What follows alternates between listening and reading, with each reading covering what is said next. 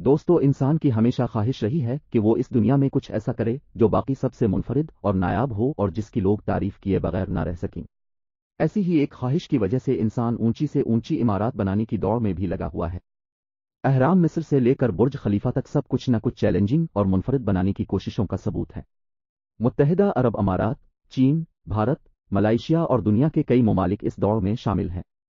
तो चलिए वीडियो का आगाज़ करते हैं और बात करते हैं दुनिया की दस बुलंद तरीन बिल्डिंग्स के बारे में। इसी तरह की मजीद मालूमती वीडियोस सबसे पहले देखने के लिए अमल टीवी को सब्सक्राइब करें और बेल आइकन को दबाना ना भूल। नंबर दस पर जो बिल्डिंग है, इसका नाम है चाइना जन। ये बिल्डिंग चाइना में मौजूद है और इसमें 109 फ्लोर्स हैं। इस बिल्डिंग की हाइट पाँच सौ सत्ताईस अशारिया सात मीटर यानी एक हज़ार सात सौ इकतीस फीट है और ये मिक्स्ड यूज़ टाइप बिल्डिंग है, जिसमें दफातर, रहाइश, होटल और दीगर सहूलियात शामिल है। इस बिल्डिंग को बनाने का आगाज़ 2011 में किया गया और 2018 तक इस बिल्डिंग की कंस्ट्रक्शन मुकम्मल कर ली गई थी।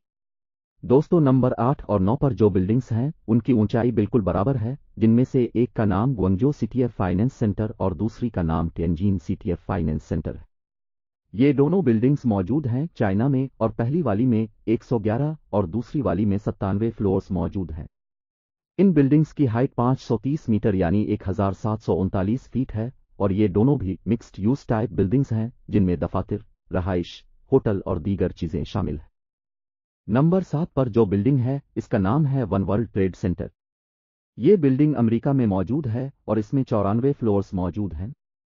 इस बिल्डिंग की हाइट पाँच मीटर यानी एक हज़ार सात सौ छिहत्तर फीट है और ये ऑफ़िस टाइप बिल्डिंग है। इस बिल्डिंग को बनाने में तीन अशारिया नौ बिलियन अमरीकी डॉलर की लागत आई थी और उसका इफ्तिता 2014 में किया गया था।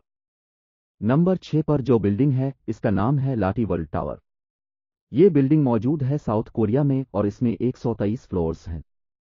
इस बिल्डिंग की हाइट तकरीबन 555 मीटर यानी 1819 फीट है और ये भी मिक्स्ड यूज़ टाइप बिल्डिंग है, जिसमें दफातर, रहाइश, होटल और दीगर चीज़ें शामिल हैं।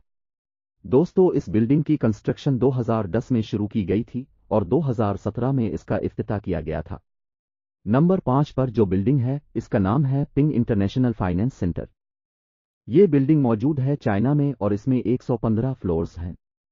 इस बिल्डिंग की हाइट पाँच सौ निन्यानवे अशारिया एक मीटर यानी एक हज़ार नौ सौ छियासठ फीट है और ये मिक्स्ड यूज़ टाइप बिल्डिंग है, जिसमें दफातर, रहाइश, होटल और दीगर चीज़ें शामिल हैं।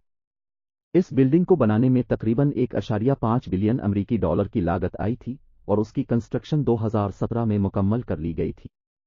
नंबर चार पर जो बिल्डिंग है, वो मुस्लिम्स के लिए इंतहाई खास है, जिसका नाम है Abraj Al Bait Clock Tower. ये बिल्डिंग मौजूद है मक्का में और इसमें 120 फ्लोर्स हैं। इस बिल्डिंग की हाइट 601 मीटर यानी एक हज़ार नौ सौ बहत्तर फीट है और ये मिक्स्ड यूज़ टाइप बिल्डिंग है, जिसमें ज़्यादातर रहाइश और होटल शामिल है। इस बिल्डिंग को बनाने में 15 बिलियन अमरीकी डॉलर की लागत आई थी और उसका इफ्तिता 2012 में किया गया था। दोस्तों, मक्का क्लाक टावर दुनिया की सबसे ऊँची क्लाक फेस वाली बिल्डिंग कहलाती है। नंबर तीन पर जो बिल्डिंग है, इसका नाम है शेंघाई टावर। ये बिल्डिंग मौजूद है चाइना में और इसमें 128 फ्लोर्स हैं। इस बिल्डिंग की हाइट 632 मीटर यानी दो हज़ार तिहत्तर फीट है और ये भी मिक्स्ड यूज़ टाइप बिल्डिंग है। इस बिल्डिंग को बनाने में पंद्रह अशारिया सात बिलियन चाइनीज़ रेनमिनबी की लागत आई थी और उसका इफ्तिता 2015 में किया गया था। ये दुनिया की सबसे ऊँची ट्विस्टेड बिल्डिंग भी कहलाती है।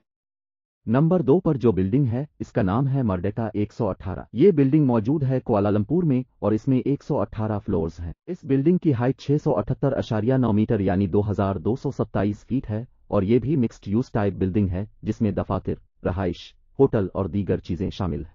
इस बिल्डिंग को बनाने में एक अशारिया पाँच बिलियन अमरीकी डॉलर की लागत आई और उसका इफ्तिता 2022 में मुतव है। 2022 में मुकम्मल होने के बाद ये साउथ ईस्ट एशिया की सबसे ऊँची बिल्डिंग कहलाएगी। नंबर एक पर जो बिल्डिंग है, इसका नाम है बुर्ज खलीफा। ये बिल्डिंग मौजूद है दुबई में और इसमें एक फ्लोर्स हैं। इस बिल्डिंग की हाइट 828 मीटर यानी 2717 फीट है और ये मिक्स्ड यूज़ टाइप बिल्डिंग है, जिसमें दफातर, रहाइश, होटल और दीगर चीज़ें शामिल हैं। इस बिल्डिंग को बनाने में एक अशारिया पाँच बिलियन अमरीकी डॉलर की लागत आई और उसका इफ्तः 2010 में किया गया था।